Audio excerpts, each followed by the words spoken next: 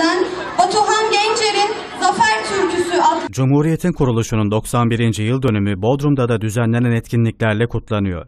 Karaman'ın Ermenek ilçesinde meydana gelen maden kazasında 18 işçimizin ocakta mahsur kalması nedeniyle bazı programların iptal edildiği Cumhuriyet Bayramı tüm Türkiye'de olduğu gibi Bodrum'da da buruk kutlanıyor. Kutlamalar çerçevesinde sabah saat 10'da Bodrum Şehir Stadyumunda etkinlik düzenlendi. Kutlamalara çok sayıda Bodrumlu yoğun ilgi gösterdi. Tören programı Bodrum Kaymakamı Doktor Mehmet Gödekmer'dan, Garnizon Komutanı Albay Göksel Oral ve Bodrum Belediye Başkanı Mehmet Kocadon'un törene katılan öğrenci grupları ve vatandaşların bayramını kutlamasıyla başladı.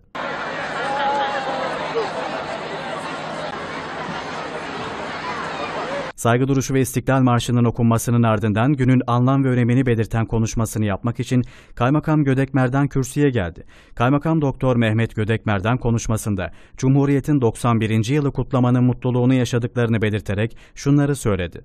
Ulu Önder Atatürk'ün en büyük eserimdir diyerek bizlere emanet ettiği Cumhuriyetimizin kuruluşunun 91. yıl dönümüne erişmenin gururunu, onurunu, sevincini ve mutluluğunu yaşıyoruz. Gazi Mustafa Kemal Atatürk önderliğinde yazılan Kurtuluş Destanı'nın heyecanını ve bu destanın varış noktası olan Cumhuriyet'in ilanı ilk günkü gibi büyük bir coşku ile kutluyoruz. Bu anlamlı günde Cumhuriyet'in Cumhuriyetimizin kurucusu Büyük Önder Mustafa Kemal Atatürk başta olmak üzere İstiklal Savaşı kahramanlarımızı ve aziz şehitlerimizi rahmet ve minnetle anıyorum. Kaymakam Gödekmerdan'ın konuşmasının ardından öğrencilerin okuduğu Cumhuriyet temalı şiirler ve Bodrum İlçe Milli Eğitim Müdürlüğü'ne bağlı 122 öğrenciden oluşan halk oyunları ekibinin Teke, Aydın ve Bodrum halk oyunları gösterilerini sunmasıyla kutlamalar devam etti.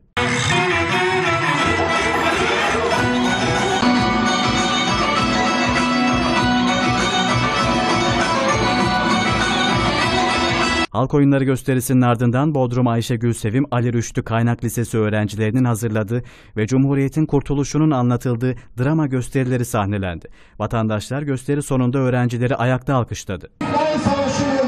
Zor Yaklaşık iki saat süren kutlama programı tören geçidiyle sona erdi.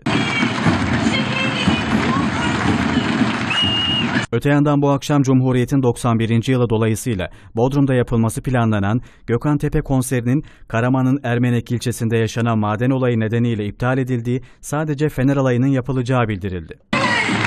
Gölgemde